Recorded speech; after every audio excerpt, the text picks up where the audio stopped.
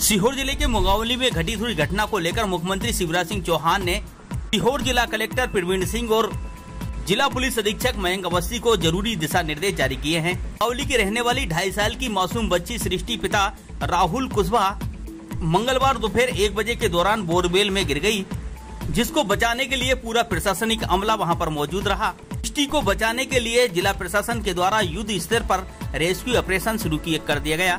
यहाँ पर आठ से अधिक जेसीबी मशीन लगाई गई हैं। एसडीईआरएफ की टीम भी पहुँच चुकी है को गहरे बोरवेल से निकालने की पूरी कोशिश की जा रही है बोरवेल के अंदर पाइप के माध्यम से ऑक्सीजन पहुंचाई जा रही है मौके पर एंबुलेंस सहित ज़रूरी जो सामान भी मौके पर मौजूद हैं। छह पोखलेन मशीनें और जेसीबी डंपर निरंतर कार्य कर रहे हैं प्रभारी कलेक्टर जिला पंचायत के CEO Ashish Tiwari, SP Mayank Awasthi, DIG Shrimati Monika Shukla सहित सीहोर सिटी एसपी निरंजन सिंह राजपूत, मंडी थाना प्रभारी हरि सिंह परमार सहित बड़ी संख्या में पुलिस बल।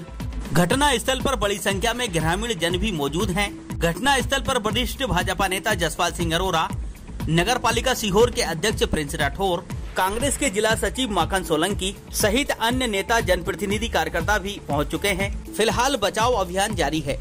के साथ एसडीईआरएफ और एनडीआरएफ की टीम भी मौजूद है। अंधेरा होने के चलते मौके पर हाई मार्क्स लगाए गए हैं। रोशनी की व्यवस्था की गई है। गहरे बोरवेल के अंदर बच्ची को ऑक्सीजन बराबर मिलती रहे, इसके लिए पाइप के ज़रिए ऑक्सीजन पहुंचाई जा रही है। मौके पर नौ मशीनें मौजूद हैं। स्वास्थ्य विभाग का अमला भी मौजूद है। जैसे ही बच्ची को निकाला जाएगा, उसे अस्पताल पहुँचाया जाएगा। बच्ची के माता पिता भी घटना स्थल आरोप हैं। फ़िलहाल माता पिता में डर बना हुआ है, लेकिन प्रशासनिक अधिकारी उन्हें बच्ची के सकुशल निकालने का भरोसा दिला रहे हैं। मुख्यमंत्री शिवराज सिंह चौहान सहित अन्य प्रदेश के वरिष्ठ अधिकारी घटना पर नज़र बनाए हुए हैं।